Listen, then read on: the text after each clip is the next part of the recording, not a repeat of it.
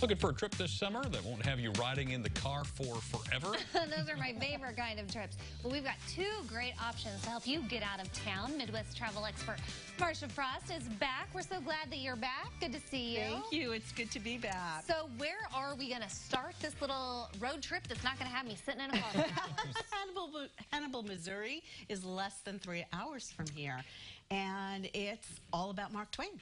Yeah, that's, Okay. that's what I hear. There's a little bit, if, if you're a Twain fan, If you're you a got to go. Twain fan, you've got to go. It's a beautiful city, too. I mean, it's really a quaint little city. But if you're a Twain fan, absolutely head down, learn about Samuel. Not going to lie, it feels to me like that's a fairly limited, like Mark Twain, there's only so much you can do, right? But No. but it must be a lot. No, so tell me about it. Tell me how wrong I am. Okay. Um, Mark Twain Boyhood Home and Museum is actually a whole conglomerate of properties, and you can walk around downtown through all of them.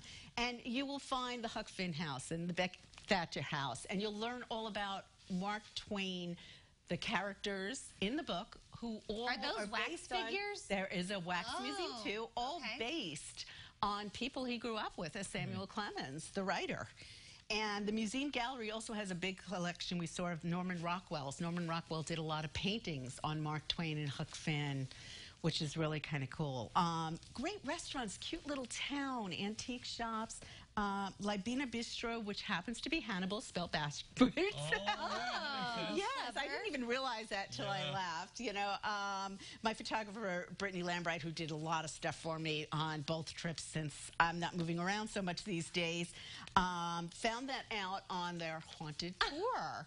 Oh. And the LaBinnah Bistro is just a great little European bistro, great food, looking for a good meal. And then you have the Mark Twain Dinette, which you know, great root beer floats and French fries and things like that. Now you're speaking my language. Yeah. Right, Floats yeah. and French fries. Mark Twain himself. It's a one-man production. Richard Garey is the actor, and he um, every night he does something different from Twain, and he talks as Twain and recites from his books. So that's really quite interesting. It's to days like today. I wish I'd pay more attention in school. I remember parts of the book, but not Yeah. enough of them. Well, now you have to Yeah. reread them. I know. Uh, the riverboat, of course, Mississippi River, where you're straddling Illinois and Missouri. Yeah. That's always important. And the quaint caves, they have some caves there which are great, and there's a winery right next door. Oh. So, Nice. got to try the Cave Hollow West Winery. And, you know, in addition to the Wax Museum, Train Museum, Rockcliffe Mansion, and a car museum, and then, as I mentioned, the Haunted Tour. And we're going to get to one in Chicago. From those pictures, it looks Lover's beautiful Leap. there. It is Yeah, it does. beautiful. It really is, and it's not. You know, th- Did it you is- leap, by the way? Uh, I did not. just. I did not. Um, there were people trying to climb the fence, and I don't suggest. You were not one of it. them. I see. Do not Yeah. suggest it. Do not suggest it. So we're going to head over to Chicago. Yeah, for let's also some is more not far. haunted tours. No, Chicago is close. Um, the Gangster Pub Tour.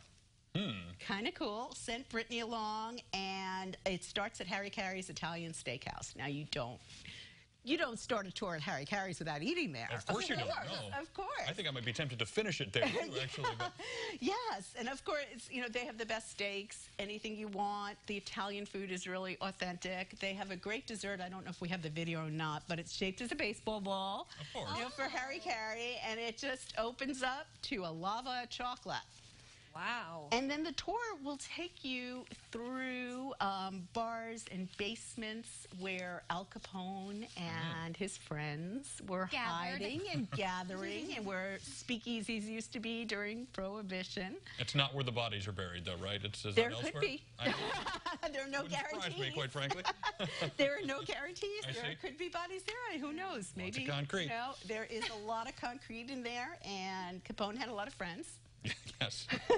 Past tense. So yes, the um, nightly spirits tours. They also have a uh, spirited tour getting towards Halloween, a little more ghosty. Um, but the gangster tour is Yeah. just Yeah. fantastic. And That's like two hours away. Yeah. so Right, not that's very a very at two short hours to. Chicago, and yeah.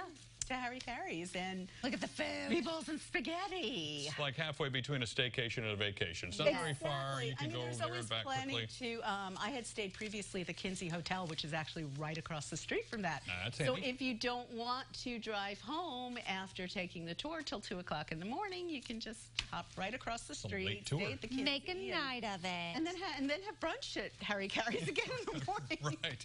Sounds like you got to figure it figured out. Thank Yeah. you, Marcia. Yes. Appreciate you being here. And we'll have all the on Harry Caray's and Hannibal on our Facebook page and uh, our website, which is CILiving.tv.